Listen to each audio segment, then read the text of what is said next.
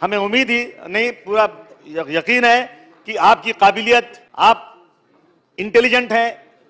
हमें, हमारे सहयोगी रईस शेख हमेशा बताते हैं आपके बारे में, हाउस में किस तरह आपने काम किया, हम अखबारों में पढ़ते हैं आपके बारे में।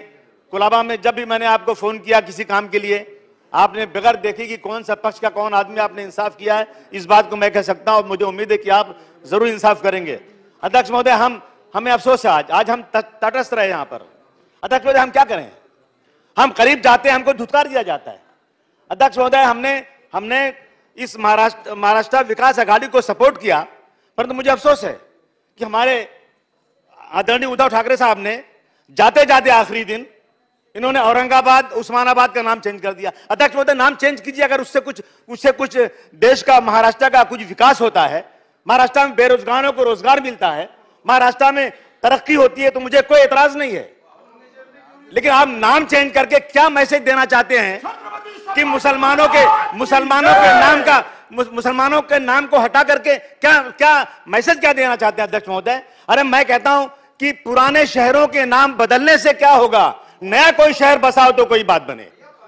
बहुत सारी जगहें पड़ी हैं। बनाइए ना।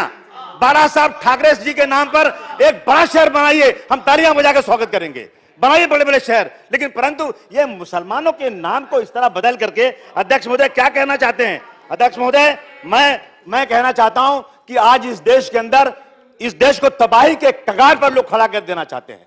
हमें इस देश का संविधान कहता है कि इस मुल्क में रहने वाले सभी लोगों का बराबर का हक है।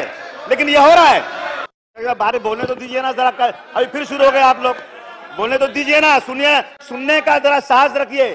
कृपया अपन अभिनंदनाच्या ठरावावरती बोला. प्यार की बात बोली बोली खत्म करता हूँ।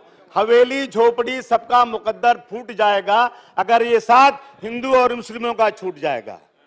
दुआ कीजिए कि हमें प्यार के रिश्ते रहे कायम। दुआ कीजिए कि हमें प्यार के रिश्ते रहे कायम। और याद रखिए आप लोग ये रिश्ते टूट जाएँगे तो भारत टूट जाएगा। देश संविधान से चलेगा। लेटेस्ट अपडेट्स और ताज़ा तरीन खबरों के लिए टीवी वन इंडिया लाइव को सब्सक्राइब कीजिए। और नोटिफिकेशन पाने के लिए बेल आइकॉन को दबाना मत भूलिए।